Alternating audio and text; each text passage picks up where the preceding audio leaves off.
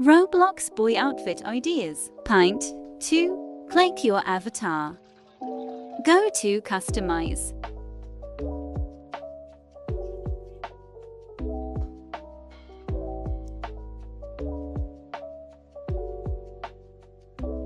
Click Clothing. Choose the Ready Player 2. Then click Pants. Choose Ripped Skater Pants. After that click Accessories. Choose the book hat.